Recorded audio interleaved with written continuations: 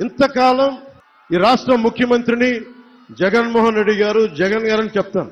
ఈ ఏలూరు సభ నుంచి వారాహి రెండో దశ యాత్ర మన ఏలూరు నుంచి మహా- మహానుభావుడు అంబేద్కర్ సాక్షి గారు చెప్తున్నా. ఈ ముఖ్యమంత్రిని ఏకవచనంతోనే పిలుస్తున్నారు కారణం కూడా చెప్తాను.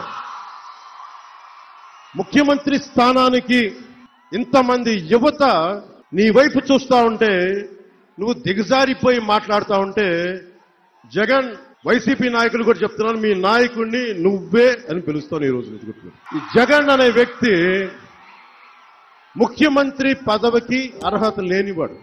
వేగ్గా మాట్లాడలా. నేను ఒక బ్లేమ్ చేయను. నీకు యాభై ఐదు సంవత్సరాలు వస్తున్నాయి. నువ్వు తెలుసుకోవాల్సింది ముప్పై ఆరు సంవత్సరాలకే జగన్మోహన్ రెడ్డి గారు మొదటిసారి ఎంపీ అయ్యాడు.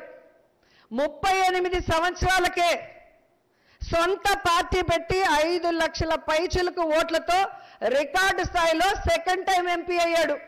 మీరు చూస్తే నలభై ఒక్క సంవత్సరాలకే అరవై ఏడు సీట్లతో అపోజిషన్ లీడర్ అయ్యాడు.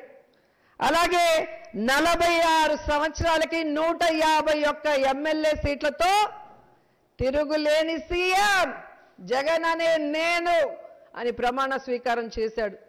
నీకు గాడిదకలాగా యాభై ఐదు సంవత్సరాలు వచ్చాయి. కనీసం ఎమ్మెల్యే కాదు కదా ఎంపీటీసీ కూడా కాలేకపోయావు.